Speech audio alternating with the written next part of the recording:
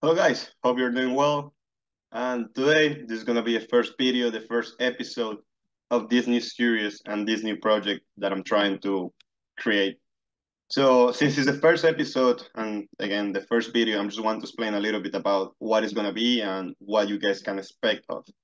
Hopefully we're gonna take and have one of these videos every single week on where we're gonna discuss different goalkeeper aspects, for example, um, goalkeeper topics, goalkeeper trainings. We're gonna do some different breakdowns about different techniques. We're gonna do breakdowns about training sessions. We're gonna I'm also gonna try to bring guests where we will be able to present, we will be able to have conversation, listen to their stories. So again, so for the people that don't know me, my name is Juan Cediel. I'm currently a Division One goalkeeper coach. I played as a goalkeeper all my life. I played in Colombia, then came to the United States, played here, played for college, and now I turned into the goalkeeper coach. So I have had the privilege of meeting great people, and now with social media, with all this technology, I have been able to open up a little bit more and share something about goalkeeping. Of course, I don't know all the secrets, I don't know all the things. I'm willing to learn, and this is part of it. Meanwhile, I'm developing this. I will be learning a lot. I will be learning a ton.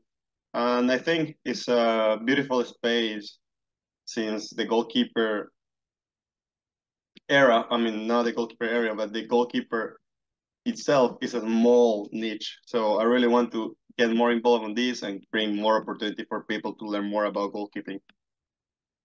Now, coming back to it, to the topic, the goal with this is to put it on YouTube. Of course, if you follow me on social media, I will be posting this stuff in social media as well. But you will also be able to listen to the episodes on Spotify. I understand sometimes, like even myself, I complain of how like the videos are in YouTube, but they are not in Spotify, and then I cannot really hear the the show. So I rather to just listen the whole thing in podcast in Spotify or something like that, and not watch the whole thing in YouTube.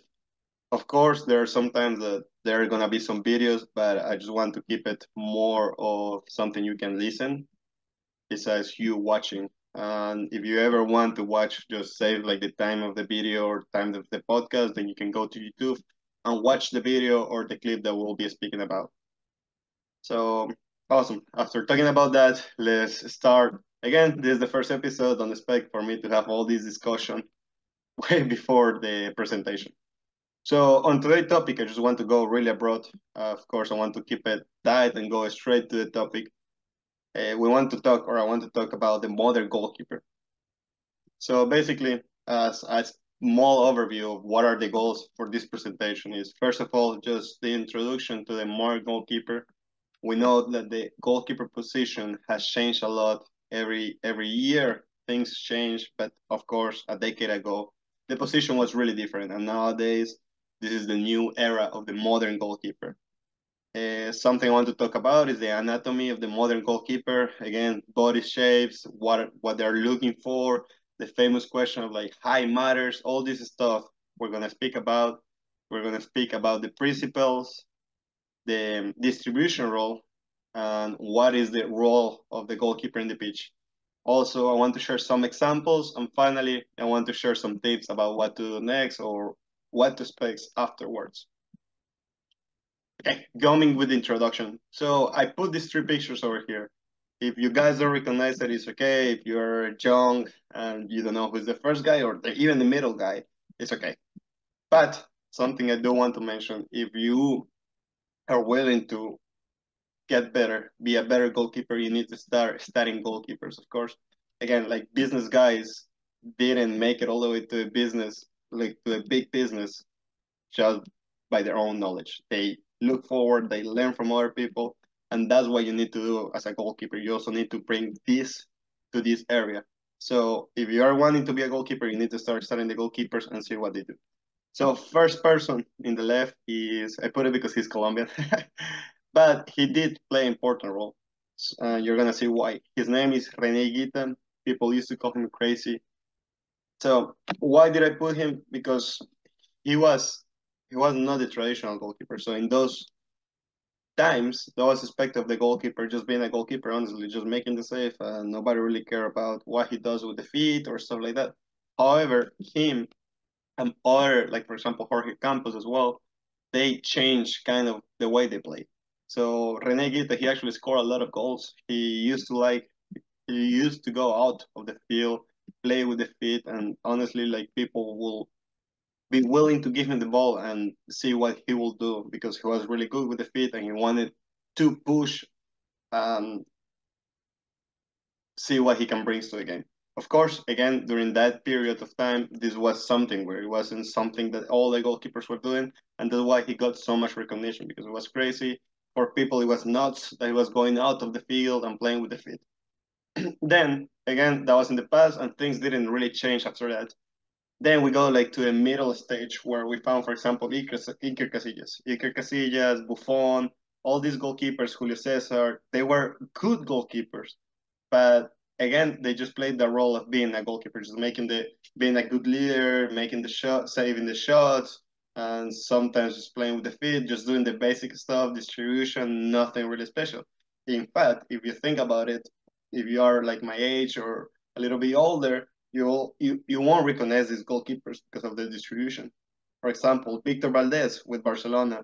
People used to say like, hey, he doesn't know how to play with the feet. He has the ball in the feet, just pressure him and he did make a lot of mistakes with the feet.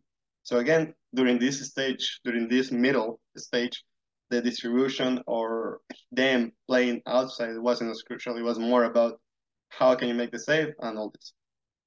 After after a couple of years and a couple of months, then we can see and find somebody like Neuer.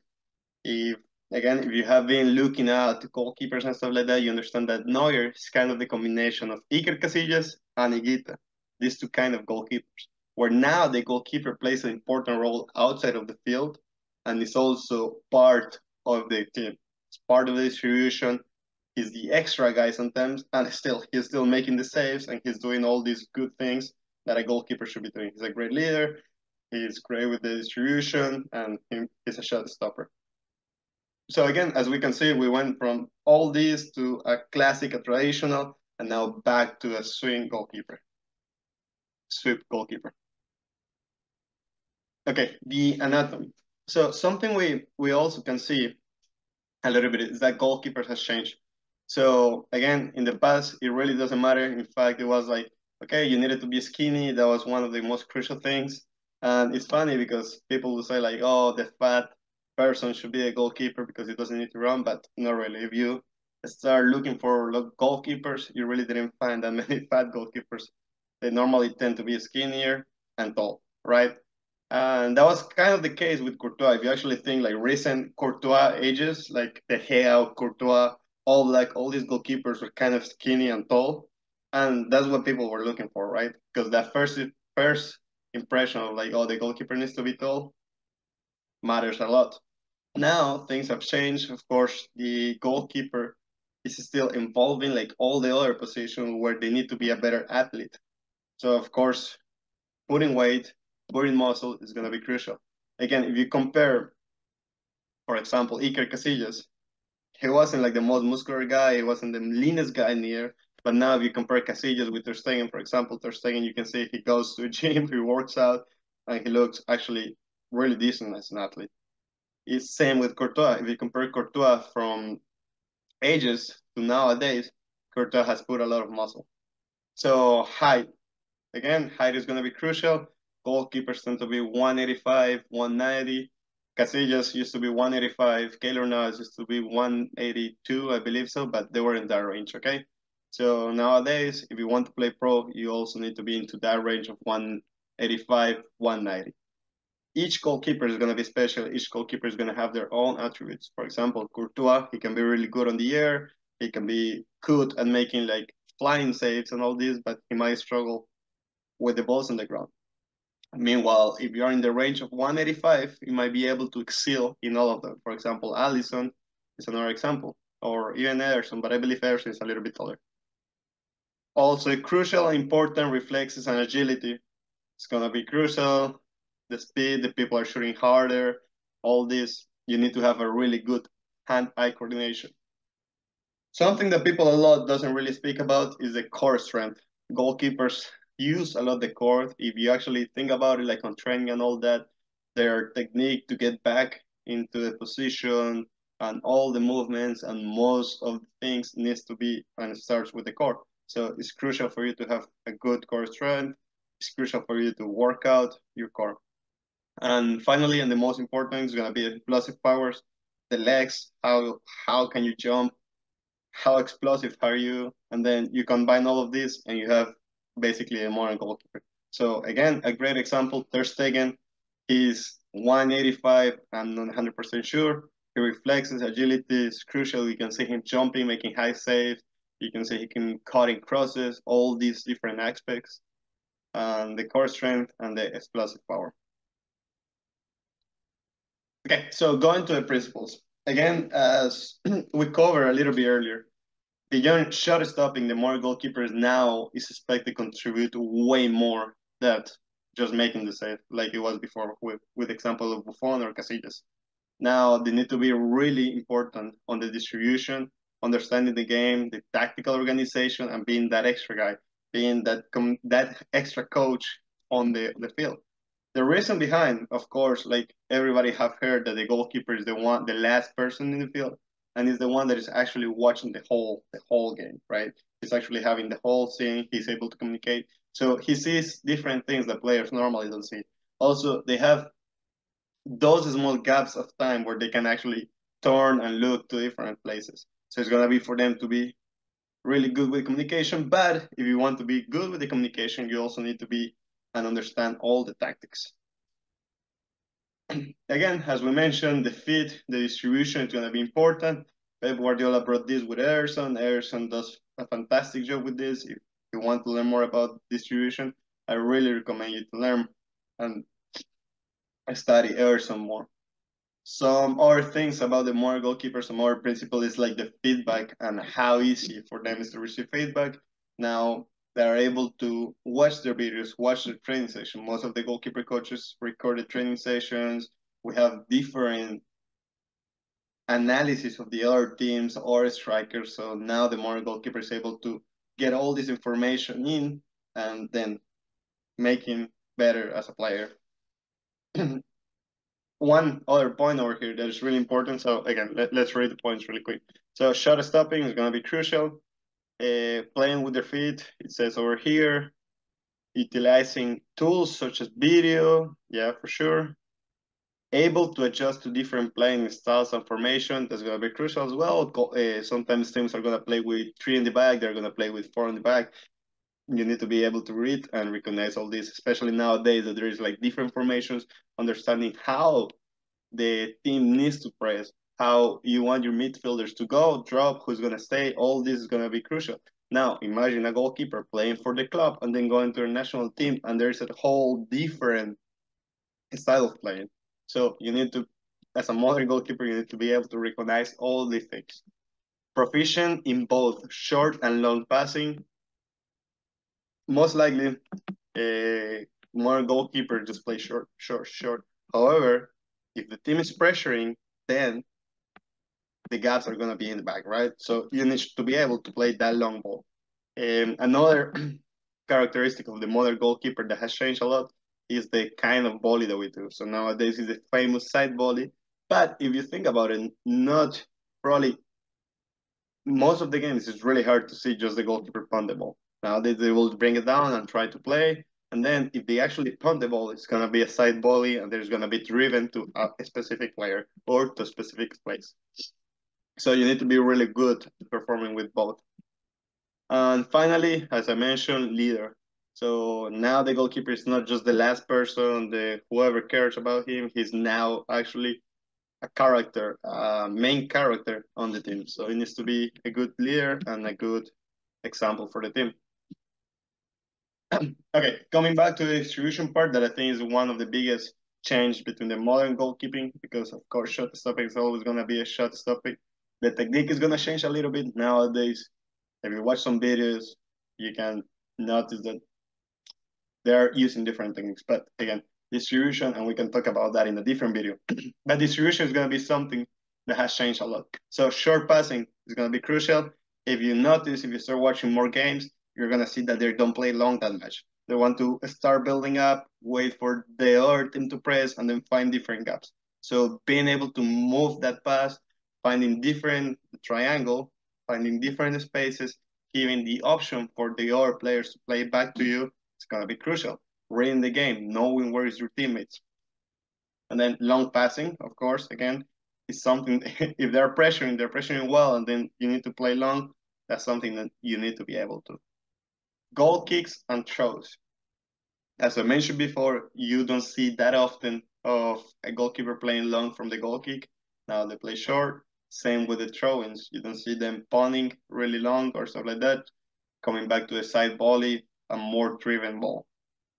And distribution under pressure, again, crucial. Now the goalkeeper should be able to play with. I remember that before they used to say like all the great goalkeepers are left-footed, but again nowadays I believe that's not the case.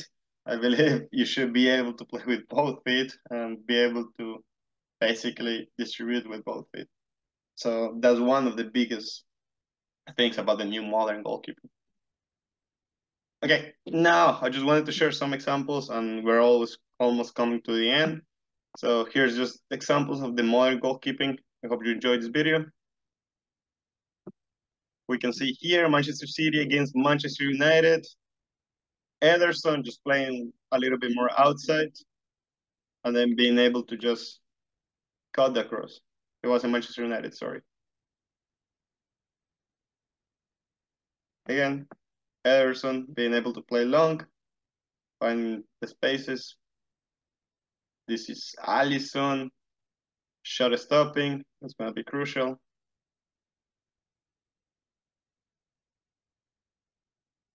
And then Ter Stegen as well.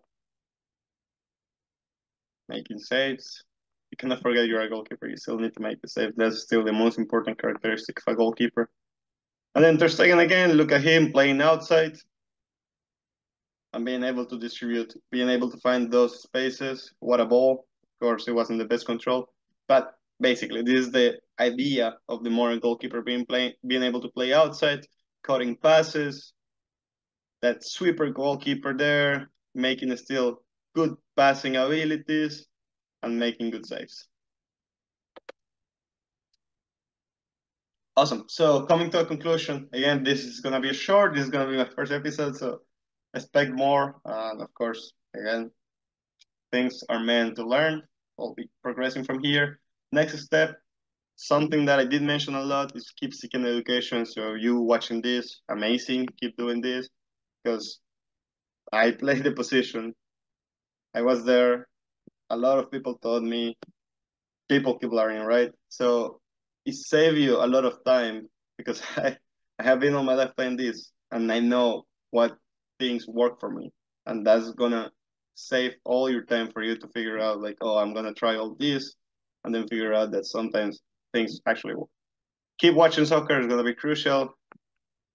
If you want to be a great business, you're gonna find a mentor, right? If you want to be good at the gym, you're gonna find a mentor. You need to start watching more about the things that you need to you want to get better. So start watching more soccer, start understanding more goalkeeping, analyze the goalkeeper. So it's not only watching the soccer, wow, Manchester United is winning, awesome. No, but understanding what the goalkeeper, if they score on the goalkeeper, what he think about what he could have done different, right? All these little details are going to help you to improve and start understanding the position. So for example, if you show up for a game, don't just go show up in the whenever the game starts, go to the warm-ups, watch all the things about the goalkeeper. And finally, again, the position has changed, and we can talk about this in the next week. The position has changed, so training needs to change. It's not about only just having a ball and shooting 50 shots, and then the goalkeeper making 50 shots, and that's it. Now the goalkeeper, the goalkeeper position has changed, training needs to change. You need to incorporate more distribution, uh, even juggling stuff like that. You need to be really good with your feet. So make sure you update your training. Make sure you have a good goalkeeper coach that is actually doing this and not just smashing balls for you. So next week we can speak about this. I'm gonna create a schedule with all the topics that I want to start covering during the weeks. But as for right now, this will be it for this week. Thank you very much for listening all the way here. I hope to see you in another one. Thank you.